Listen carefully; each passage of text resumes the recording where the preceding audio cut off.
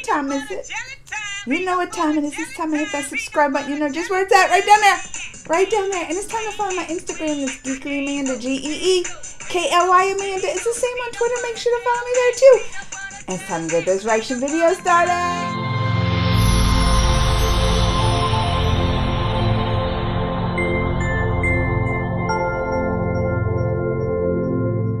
This is a new trailer with the Nicolas Cage.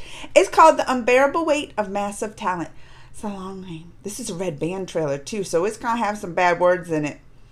You know, I just saw Nicolas Cage. I did. I was in LA at the Hollywood Critics Awards, and he was getting an award there. So I look, me and Nick Cage, we were just in the same room together not too long ago. I wonder if he remembers me. Well, let's get this started. Y'all ready? Go. What's the worry here, Nick? You've lost some of your talent as an actor? Oh. No. He's like, nah. That ain't What did it. he say? He says he loves you, but he went in a different direction. I'm done. I'm quitting acting. Tell the trades. It was a tremendous honor to be a part of storytelling and myth making.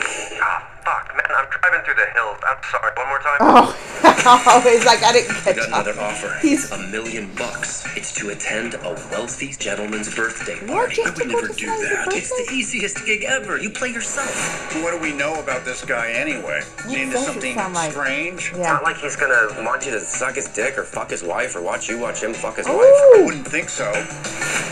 Welcome to Mallorca, Mr. Cage. The guy that owns this house, what's his name? Javi. Is Javi gonna want me to, uh, I am Javi.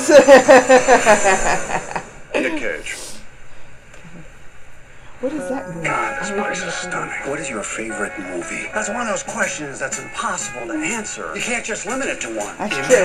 That's true. Look, I have a hard time. Is it too much? Is this supposed to be me?